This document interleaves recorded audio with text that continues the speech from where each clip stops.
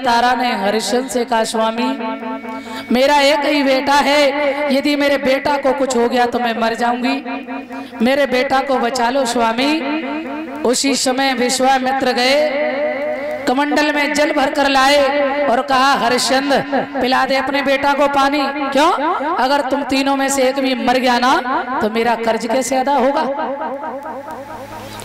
हरिश्चंद्र ने कहा, रघुकुल रीत सदा चले आई और प्राण जाए पर बचन न जाए।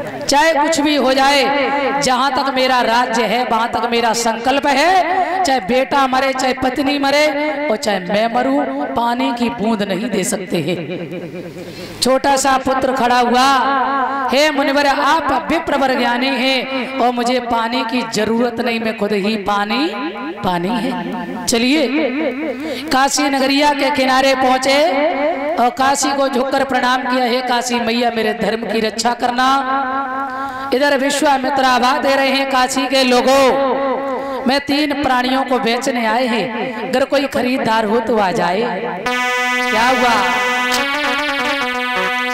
काशी बीच डगरिया में डगरिया में और कीमत हुई रही बजरिया में। काशी बीच डगरिया में, बजरिया में अरे कीमत रही बजरिया काशी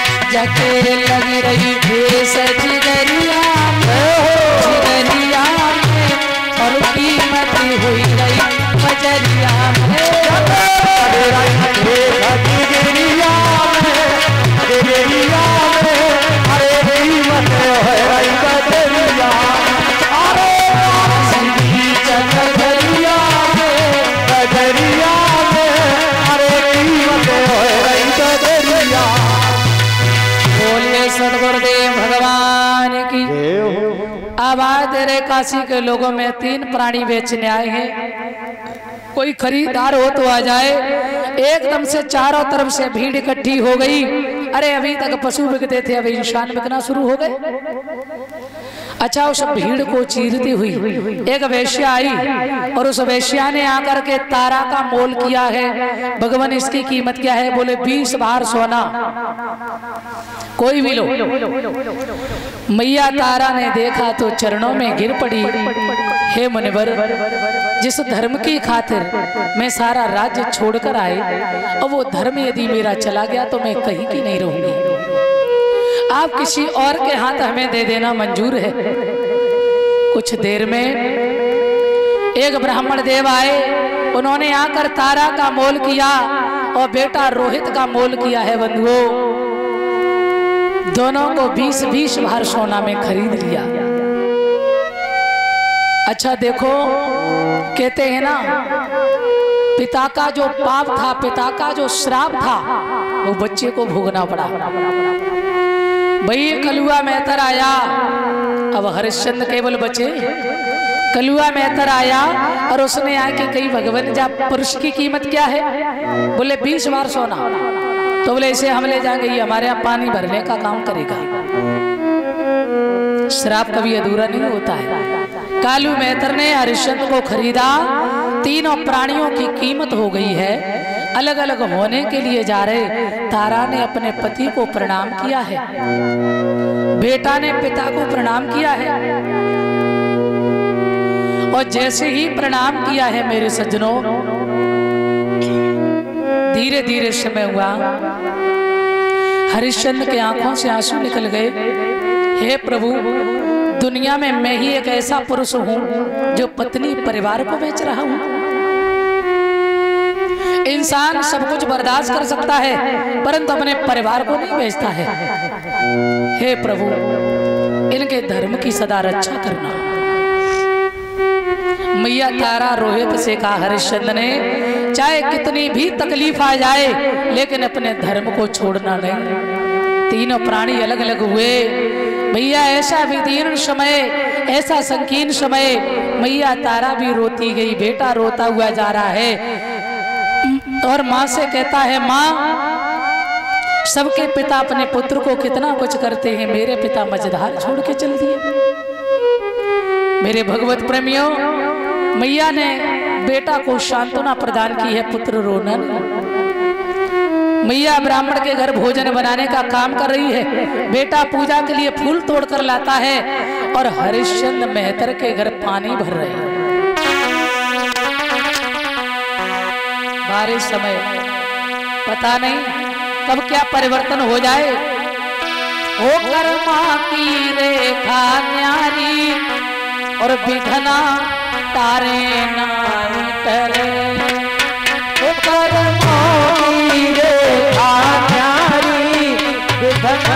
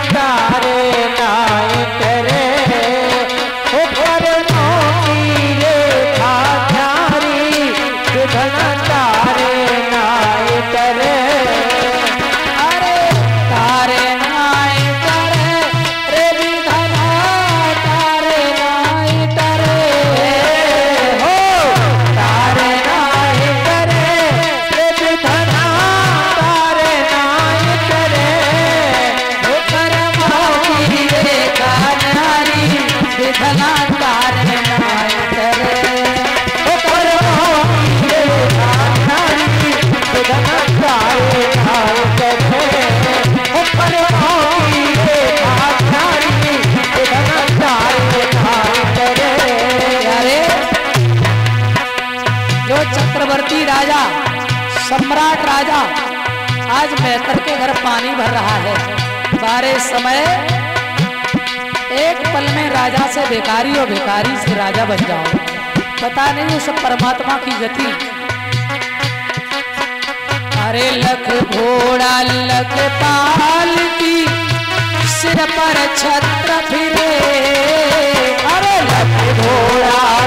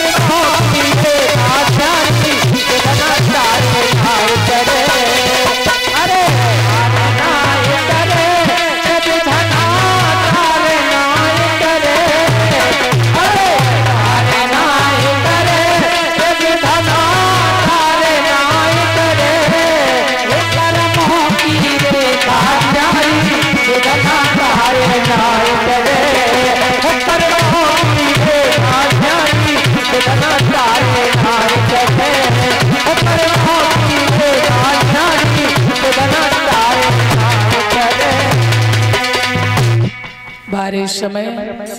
पता नहीं कब कैसा समय आ जाए। एक दिन हरिश्चंद्र देखो एक हफ़्ता हो गया। हरिश्चंद्र ने भोजन नहीं किया है परिवार से जुदा होने के बाद। मेरे भगवत प्रेमियों, इधर हरिश्चंद्र ने देखा एक दिन भोजन बना के रखा।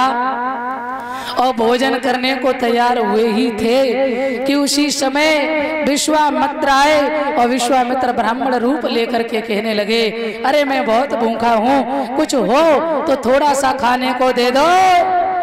तो जो थाली बनाकर भोजन की रखी हरिश्चंद्र ने उठाई और विश्वामित्र को दे दी। फिर भूखे रह गए। पानी भरने जब गंगा जी पर चले हरिश्चंद्र तो भगवत प्रेमियों ध्यान रखना, शरीर इतना कमज़ोर है कि घड़ा उठ नहीं रहा है। इधर मैया तारा चली है, और तारा ने जब देखा तो हरिश्चंद्र बोले, तारा रानी, उठवाए के डगरिया मेरी गंगा जल की हवाए दे डगरिया मेरी गंगा जल की उड़ान। हवाए दे डगरिया मेरी गंगा जल की। पल पल होती अवेर मेरी रनिया उठो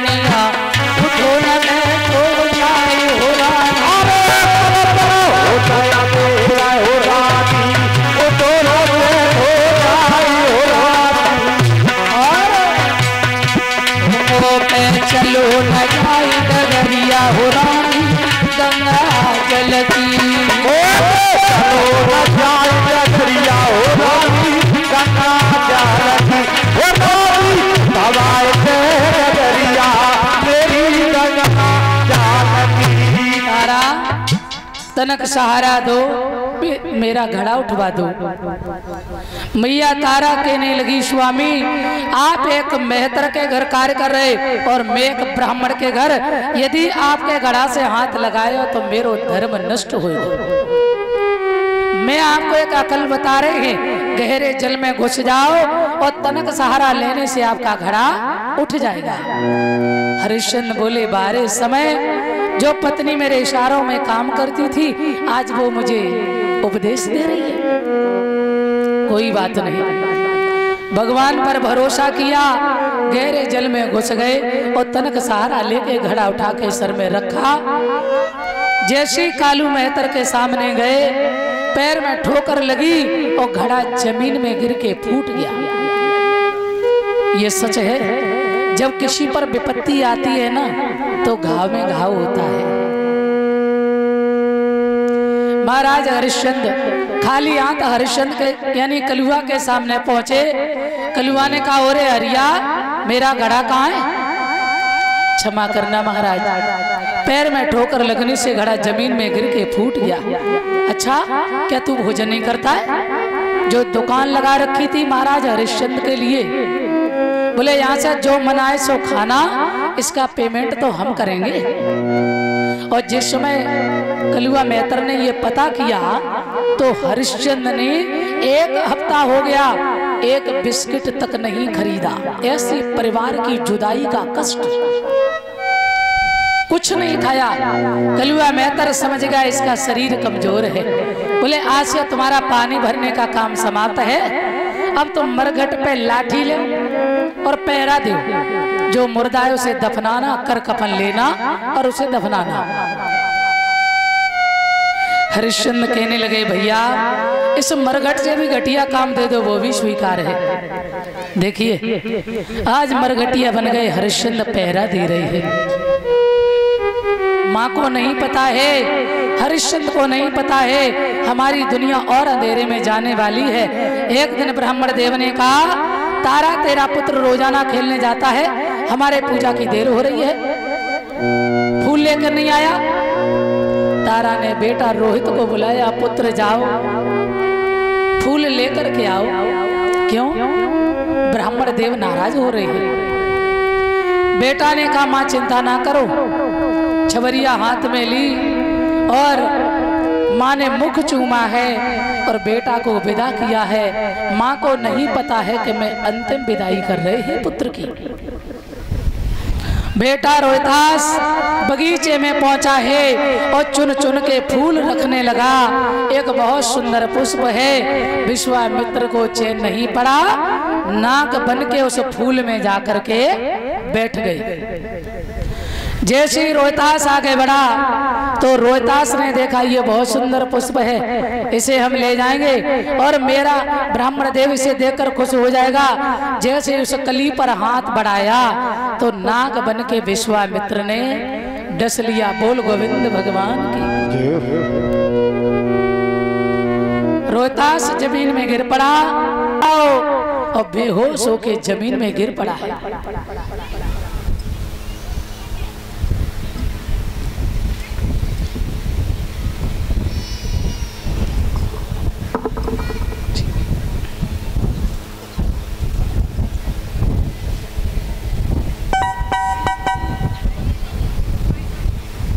हेलो। हेलो हेलो हमारे संजीव भैया, राजीव भैया जो है, इनकी धर्मपत्नी दोनों भाभियाँ सम्मान कर रही हैं माला से। बहुत बहुत आपको बधाई, सदा आगे बढ़े। और छोटी बहन रूबी का भी सम्मान कर रहे हैं। मैं भगवान से कामना करेंगे। सदा सुख में जीवन रहे, सदा आगे बढ़े। बोल गोविंद, भगवान की। श्री सुखदेव जी कहते हैं, राजन, आज मैया ने जैसे ही ब्राह्मण देव ने आवाज़ लगाई काशी के लोगों, किसी माँ का लाल नांग ने डस अपने पुत्र को ले आए। तारा ने जैसे ही सुना, मेरे बेटे के अलावा कोई नहीं होगा। ब्राह्मण देव के पास गई, मुझे आ गया तो मैं मैं जा रही हूँ। मेरे बेटा को नांग ने डसा है, और मैं अपने बेटा को देखा है, महाराज। ब्राह्मण देव कहने